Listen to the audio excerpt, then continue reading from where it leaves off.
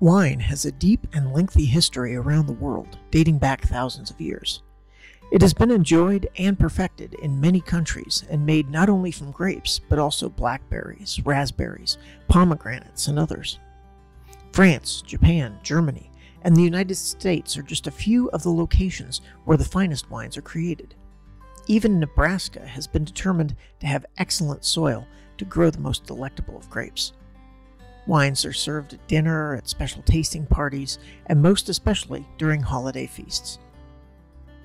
This set of wine glasses and decanter starts its journey in Germany in the mid 1800s.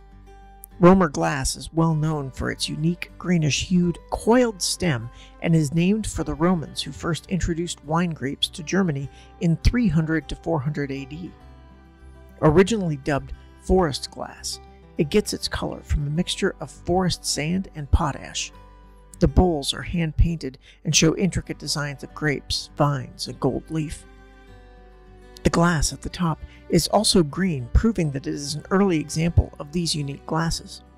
According to connoisseurs, the color was off putting and so later changed to a clear version instead. The tray is hand carved with a dark wood stain in a tiered fashion that places the large bowl in the middle, which would hold several bottles of wine at a time.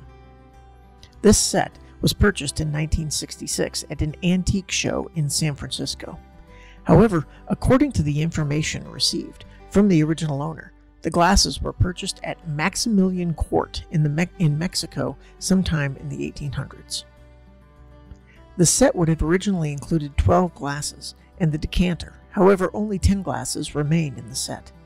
A newspaper article about the antique auction features the set and shows a photo of the set and a woman holding one of the glasses. The glasses were brought to Grand Island and acquisitioned by Stuhr Museum in 1980.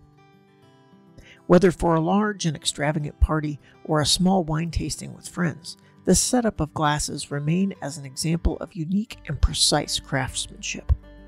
As you are raising a glass this holiday season with your family and with loved ones, be sure to make a toast to those who are quarantined and alone this season. Be safe and have a lovely Thanksgiving.